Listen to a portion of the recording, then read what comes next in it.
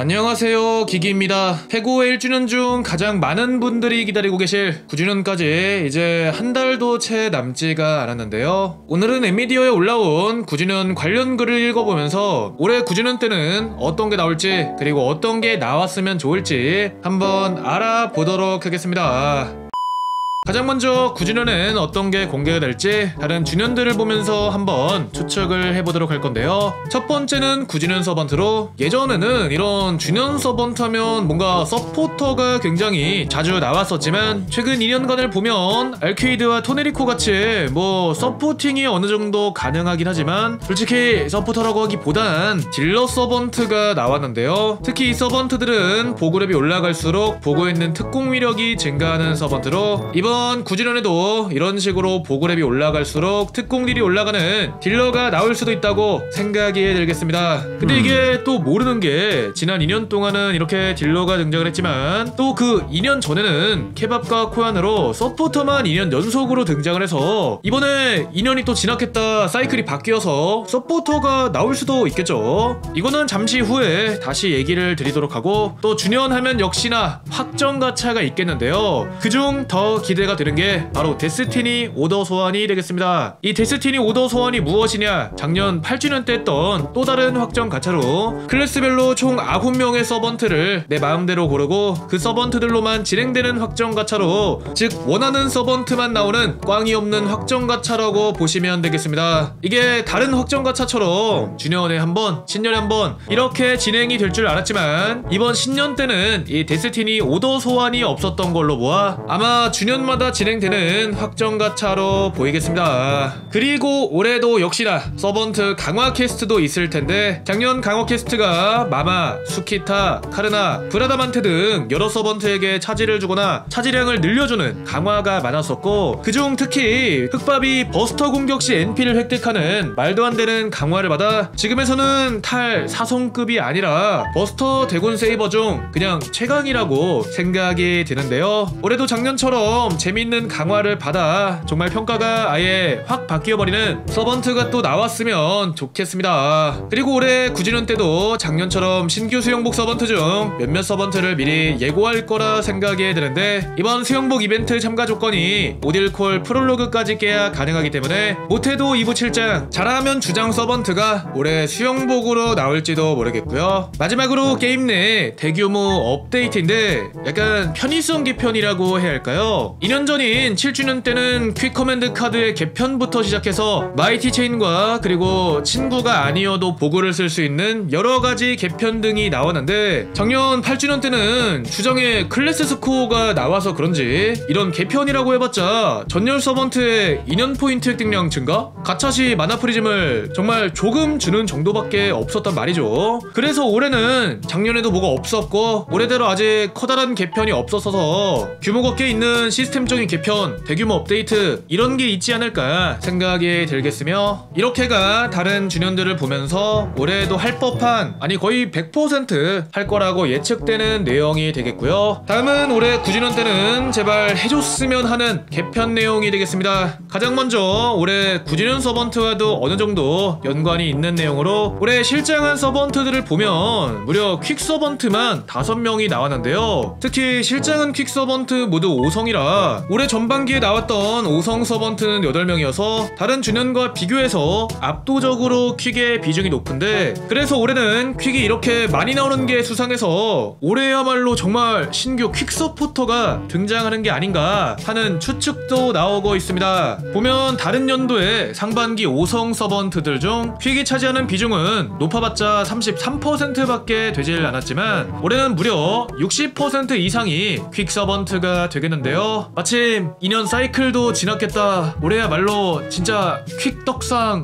오냐? 아무튼 다음은 5성 배포로. 작년 8주년 때는 뭐 4성 servant 5성 servant 4성 예장 5성 예장 진짜 아무런 배포가 없었고 게다가 5성 servant를 배포한 지도 너무나 오래됐는데요. 그래서 뭐 5성 servant 배포는 3천만 DL 때 한다고 쳐도 적어도 올해는 5성 예장 정도는 다시 한번 배포를 해줬으면 좋겠습니다. 다음은 또또 많은 분들이 정말 원하고 계실 바로 천장 개편인데요. 페그오 천장 말해 뭐합니까? 일단 천장까지 횟수도 300회로 굉장히 많으면서 중간에 픽업 servant를 뽑으면 그 천장이 증발이 되어버리고 게다가 천장 시 픽업 중인 servant를 선택할 수도 없어 픽업창이 이렇게 난장판이 되어버린 것도 사성 servant 단독 픽업이 없어져 버린 것도 바로 이 이상한 시스템의 천장 때문인데요. 이런 나사 빠진 천장을 유지할 거면 적어도 횟수는 지금보다 좀 줄여줬으면 좋겠습니다. 아니면 뭐 천장 증발이 없어지거나요. 아니 그리고 천장까지 얼마나 남았는지 하나하나 직접 세야 되는 것도 어이없음. 아무튼 작년에도 천장 개편 해주겠지? 했는데 없었고 신년에는 해주겠지? 했는데 또 없었고 8주년과 신년 때 없었던 후속 패치를 해줄 거라 기대했던 3천만 DL도 아직 깜깜 무소식이라 올해 9주년 때는 제발 천장 개편 좀 해줬으면 좋겠습니다. 또 마일리지 시스템 같이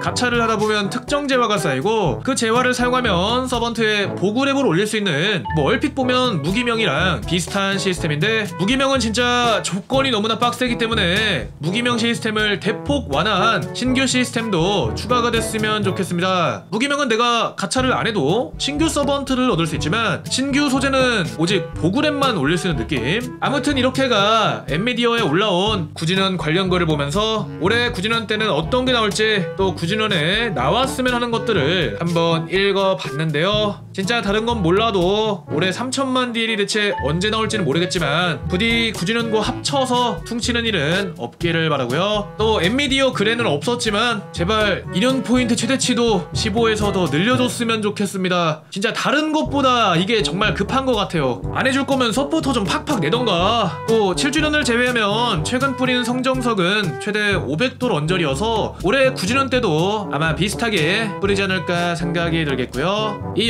영상이 도움이 되셨다면 좋아요, 구독 눌러주시길 바라고 다들 가차 대박 나시며 오늘 영상도 여기서 끝!